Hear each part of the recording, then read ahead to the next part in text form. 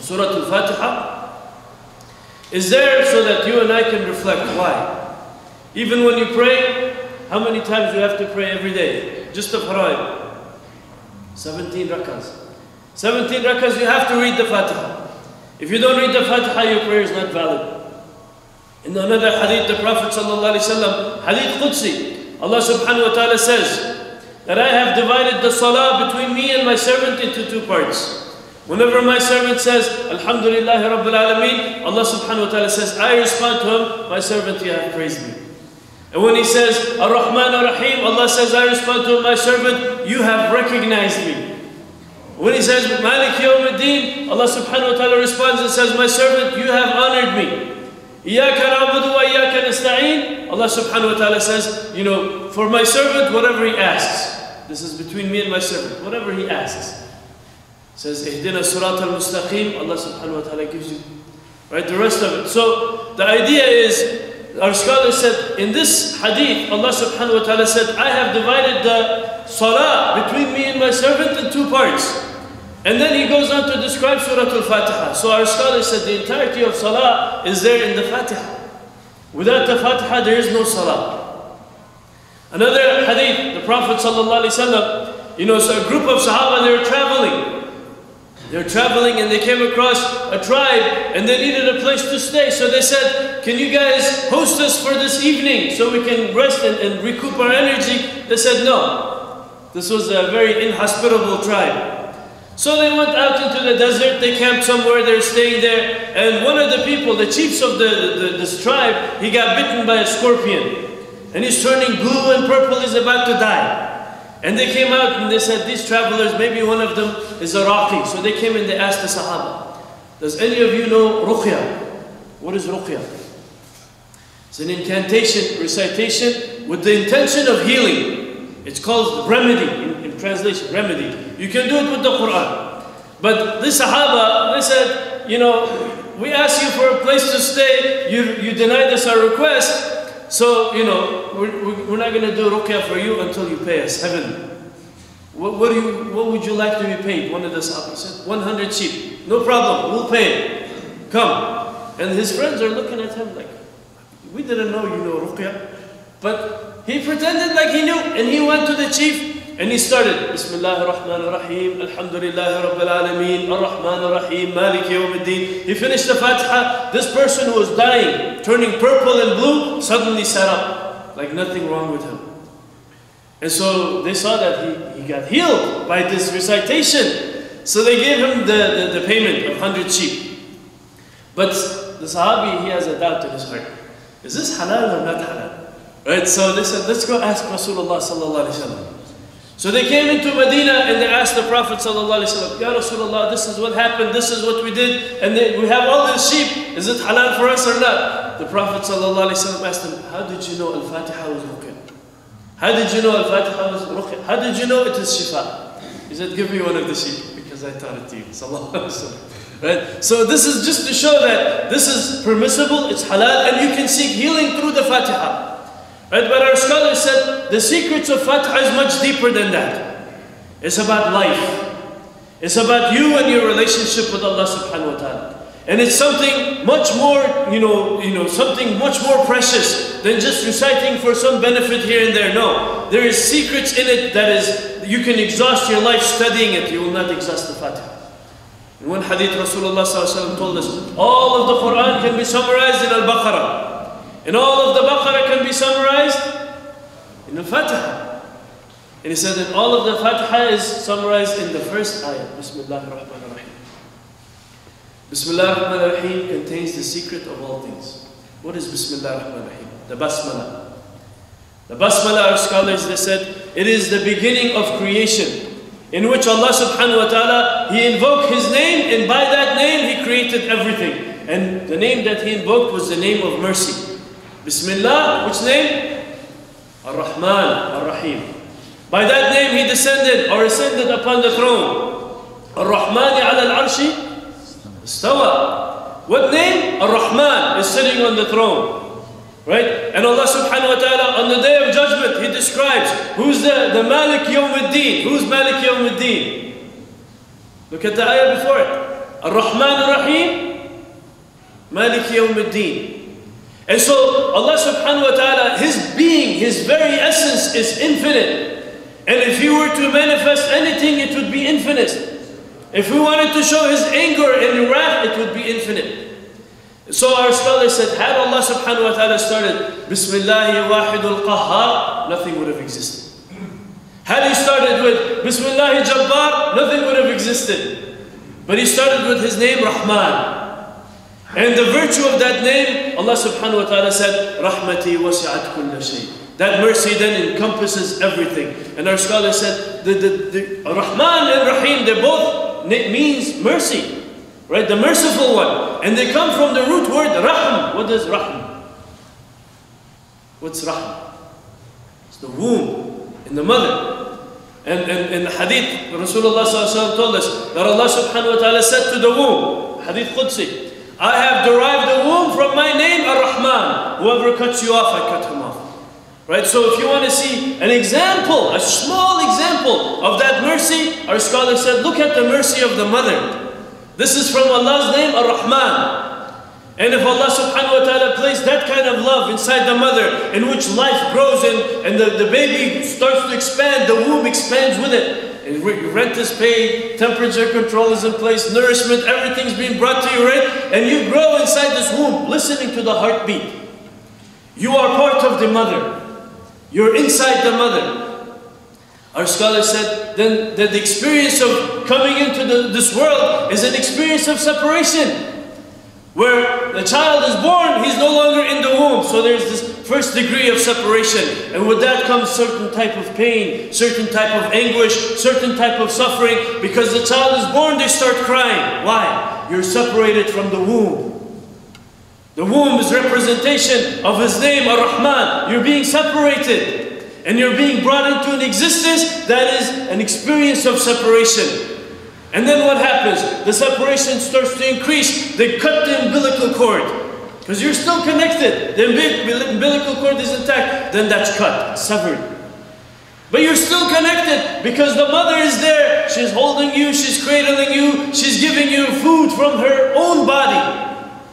The milk comes with the baby, right? And so she's nurturing and she's holding, and then what happens two years later? You have to separate from that.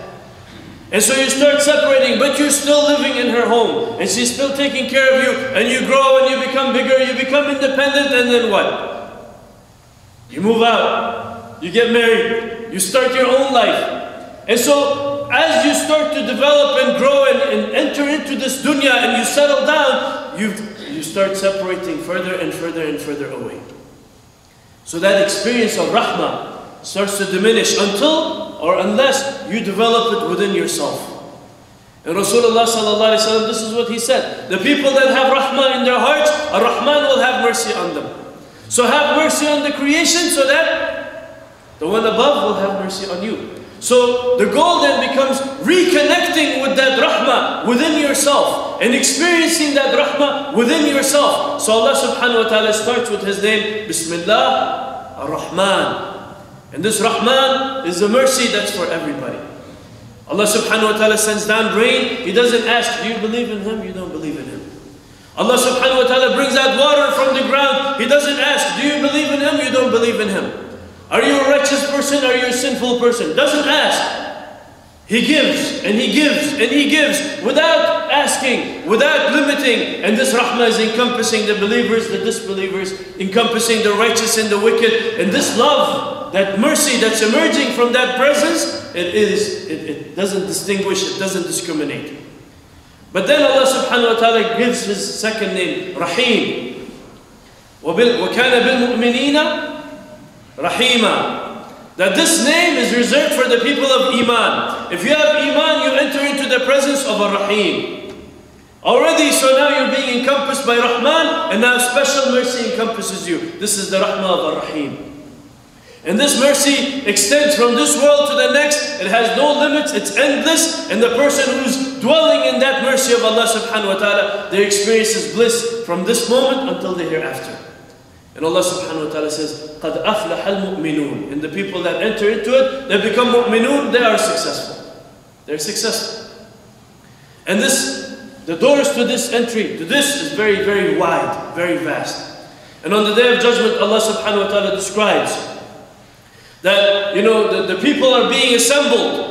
And, and suddenly a, a, a, gate appears in front of them and a wall appears and, and he says, "Batinuhu rahma, ظَاهِرُهُ عَذَابًا and, and Allah subhanahu wa ta'ala also describes, and there is a gate on this door, on this, on this wall. And this wall, when the door is there, our scholar said this door opens towards mercy, not towards adhab. So somebody's outside can enter inside, but the ones inside cannot go out. Means it's one-way street. People move from the adhab into the rahmah. And this entrance into the mercy of ar-Rahim, it's even there on the day of judgment. There is a door for people to enter. And so what our scholars said is that, you know, people despair of the mercy of Allah. When they do despair, eh, or, or they have some kind of la'na fall on them, or they become disbelievers, they move from the, from the daira, from the, from the circles of Allah's rahimness to ar-Rahman. They never leave His mercy. Everything is always within His mercy, but they leave His special mercy to His general mercy. But what's amazing is that if you want to enter His special mercy, regardless of what you've done, Rasulullah told us, a man had killed 99 people, murdered 99 people, and still he wanted to know if there is any chance for him to enter into the special mercy of Allah subhanahu wa ta'ala. So he went and he sought out a person who was devoted, who was a devotional person, always praying, fasting. You know, he said, You are a good man. You seem like you know about Allah. I have a question for you. Is there any hope for me?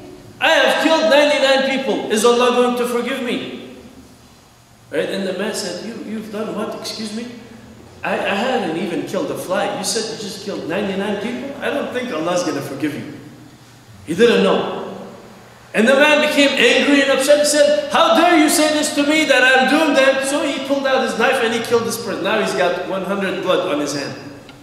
The, serial killer, murderer, right? And still that feeling was there in his heart bothering him. And he went and he found an alim. He said, listen, I have, I have done some terrible things in my life. Is there any, any hope for my, any, any chance of salvation? And the man said, of course. You want to limit the mercy of Allah subhanahu wa ta'ala. His mercy is vast. And you know what's amazing about this is people that are closer to Allah subhanahu wa ta'ala, they can see His vastness. Whereas people who are distant, they belittle His mercy. You know, similarly, in this world, physical signs Allah give us. If a car is moving towards you, while it's far away, it appears to you as what? Small. As you get closer, it gets what? Bigger.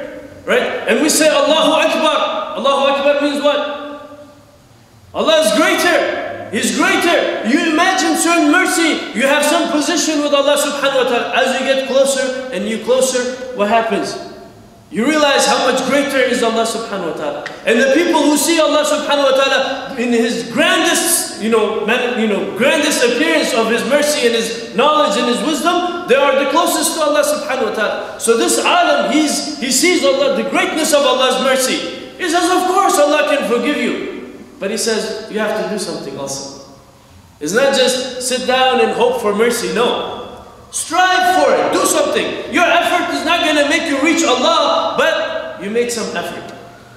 Right? It's not like you can climb the, the universe with a rope. You know, what's the, how, how far do you have to travel in the universe to reach Allah subhanahu wa ta'ala?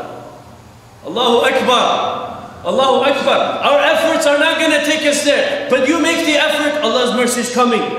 Rasulullah said, You walk towards Allah, He will come to you running.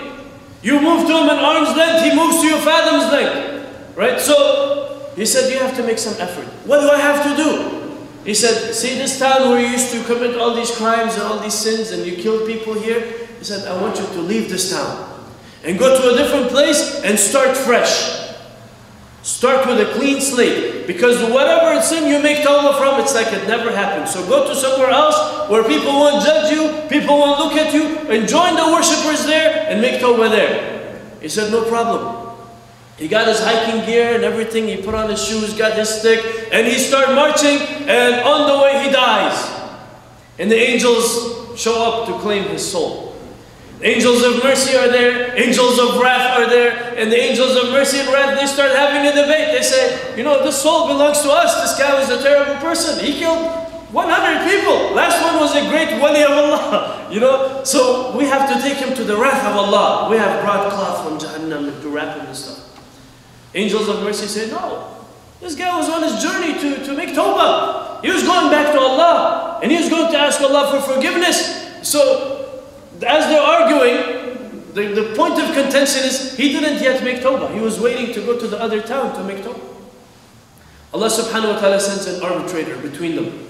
Another group of angels, they come to say, Allah told you to measure the earth between the man's death place and the where he used to commit the sins, and the man's death place and where he was going to ask for forgiveness. And if he's closer to the time of sin, angels of wrath, you take him. If he's closer to the time of mercy, angels of mercy, you take him. Problem solved. So they measure. They take out their angelic rulers and everything. Right? And when they measure, they find the man has died closer to the town where he used to commit the sins.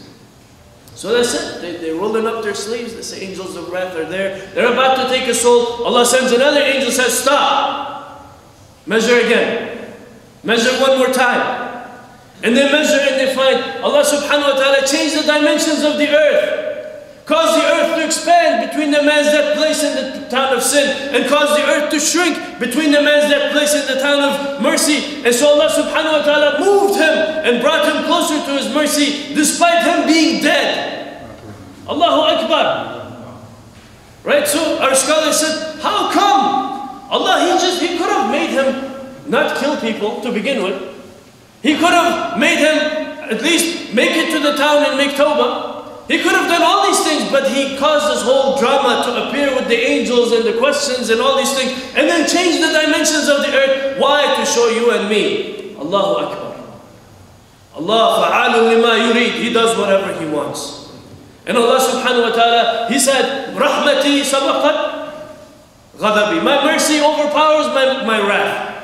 And he started with his name Ar-Rahman and then he gave his name Rahim. You want to enter his mercy, the special mercy, the doors are wide open.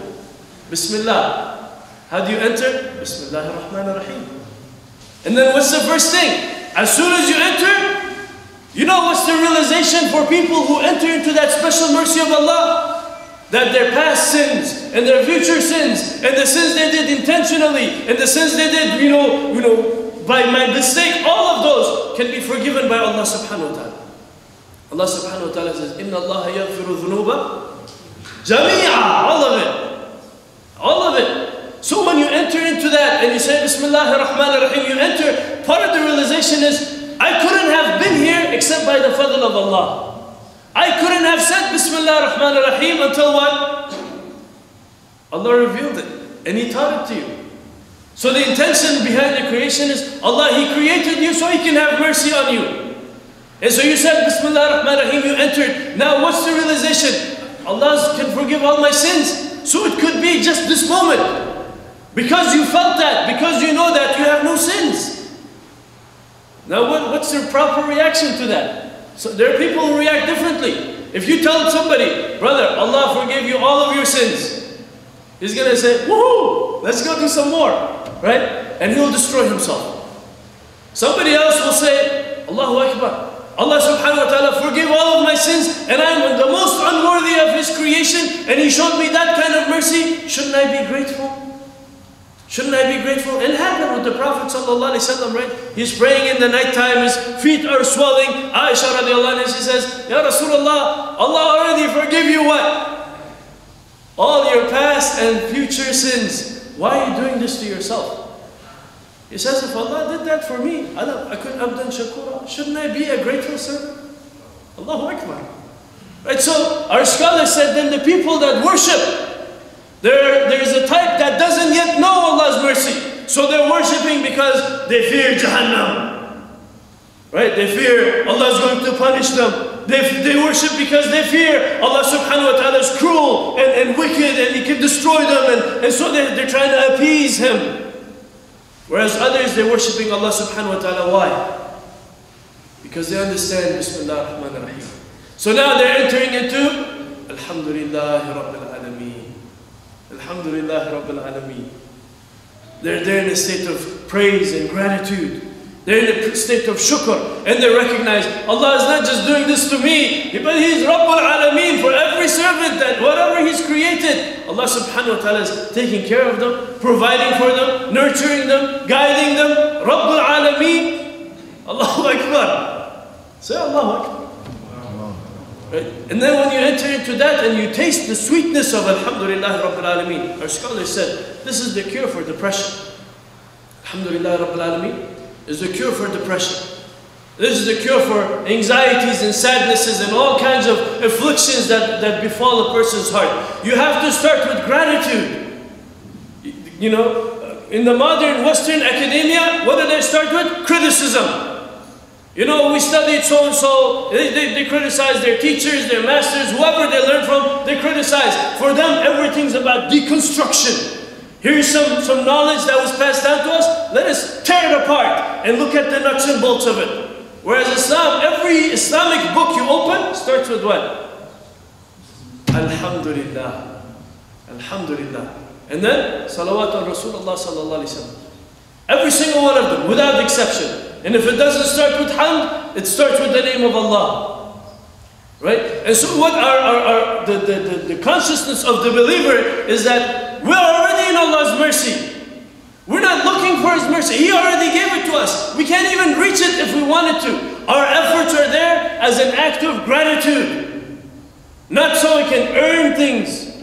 Allah subhanahu wa ta'ala says, قُلْ بِفَضْلِ اللَّهِ وَبِرَحْمَتِهِ فَبِذَلِكَ فَلْيَفْرَحُوا هُوَ خَيْرٌ مِمَّا What did he say? It's better than what they accumulate. Say, in the mercy of Allah and His fadl, this is what you should start celebrating. Be happy and celebrate Allah's mercy and Allah's fadl because you already have it. And that's better than what these other people are trying to accumulate. What are they accumulating? Their hasanat and their this and that. And their worldly things. Allahu Akbar. We stop here.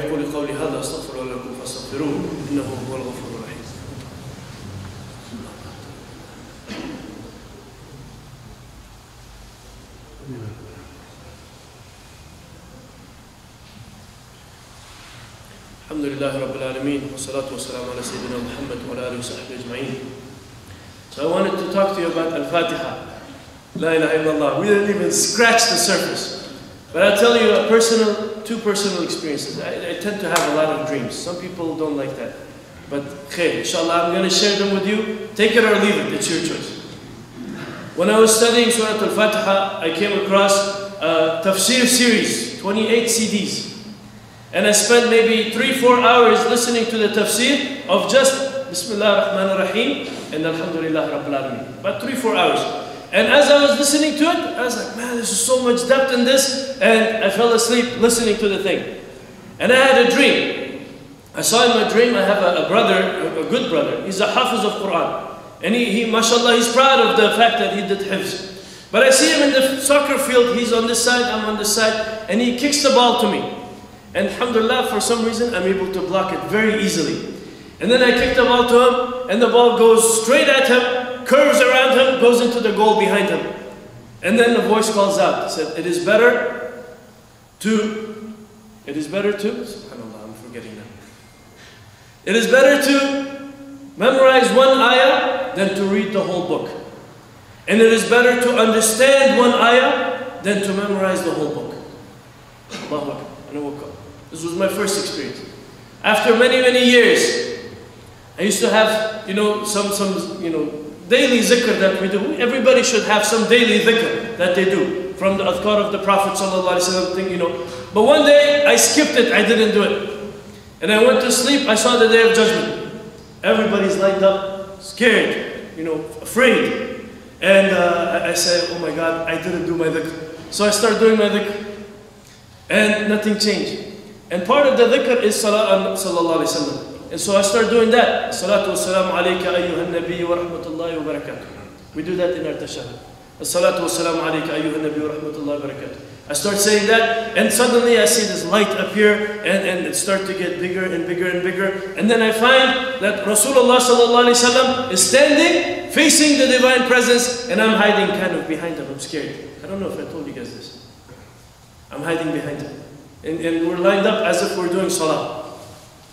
And then I realized this is the moment of shafa'ah. Rasulullah sallallahu alaihi wasallam, he's going to do shafa'ah for us. He's going to ask Allah to forgive us, and this is this is going to be the amazing moment. And I heard about this in the hadith. He's going to praise Allah like nobody praised Allah before. So I'm waiting. What is he going to say, sallallahu alaihi wasallam? And he says, Alhamdulillah Rabbil Alameen. And Allah responds, My servant, you have praised me. He says, Ar-Rahman Ar-Rahim. And then the dark sky, the clouds start coming, the heat dissipates. He says, My servant, you have recognized me. He says, Malik Yawmuddin. Said, My servant, you have honored me. And then he pulls me forward. He says, Iyaka na'budu wa iyaka nasta'een. Al-Fatiha is whose words? Whose words is it? Allah's words. Who did he give it to? Rasulullah sallallahu alayhi wasallam. And there's a dua in there, إِيَّاكَ نَعْبُدُ وَإِيَّاكَ نَسْتَعِينُ اِهْدِنَا الصِّرَاطَ الْمُسْتَقِيمَ When Rasulullah sallallahu alayhi wasallam said, إِيَّاكَ نَعْبُدُ You alone, we worship. Who did he include?